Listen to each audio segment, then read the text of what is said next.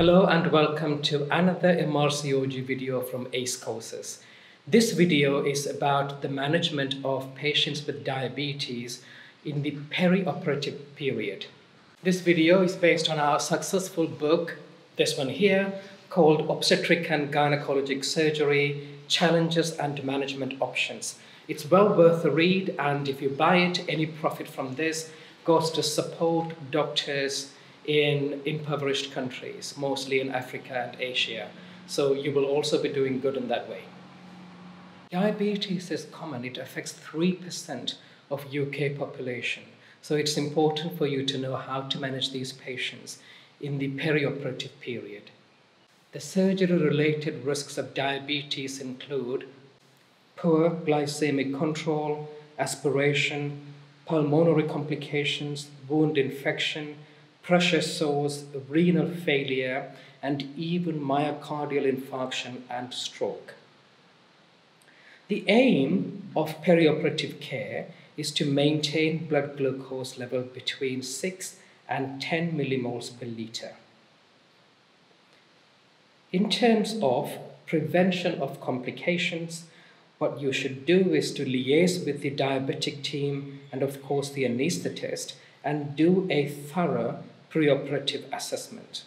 You should obtain history about usual glycemic control and any pre-existing diabetic complications. You should check the blood pressure and urine for ketones and protein. You should also do blood tests for HbA1c, urea and electrolytes, and a full blood count. If the patient is over 30 years of age, you should also arrange an ECG then you should schedule the patient to be first on the operating list. Patients with diet-controlled diabetes, normal glucose and good glycemic control do not usually need any special precaution. Let's now discuss how we will manage a patient with non-insulin dependent diabetes. You should omit the usual oral hypoglycemic drug on the day of surgery.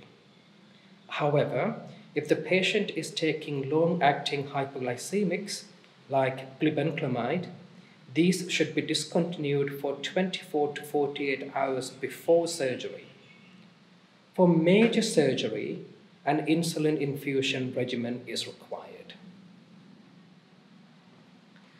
Let's next discuss how we will manage a patient with insulin-dependent diabetes you should omit the usual dose of subcutaneous insulin on the day of surgery and commence insulin infusion.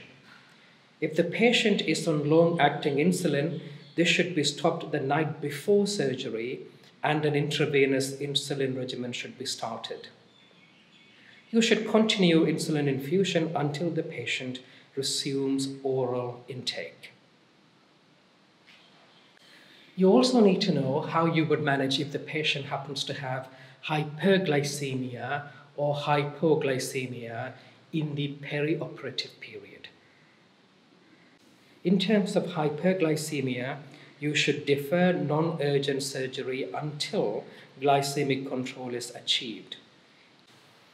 If glucose level is less than 25 millimole per liter and there is no ketoacidosis, you can use 4 to 8 units of subcutaneous insulin to gradually reduce the sugar level.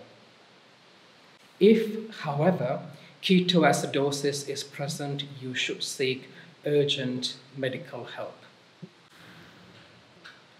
For emergency management of diabetic ketoacidosis, you should protect the airway and give facial oxygen, give intravenous fluids, administer 4 to 8 units of actrapid if glucose is more than 20 millimole per liter and start an insulin sliding scale. You should check glucose, potassium, and arterial blood gases hourly until the patient is stable. How will you manage a patient who has got hypoglycemia? If the patient is conscious, you should give sugary drink followed by biscuits or a sandwich. If the patient is unconscious, then you need to give 50 mils of 50% dextrose intravenously.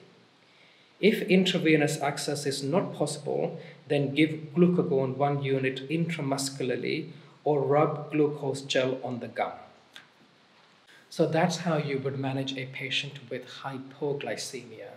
I hope you found this video on the management of a patient with diabetes in the perioperative period useful for your exam and of course for your clinical practice. And until we meet again on another video for MRCOG, goodbye from Valalai in the north of Sri Lanka in Jaffna.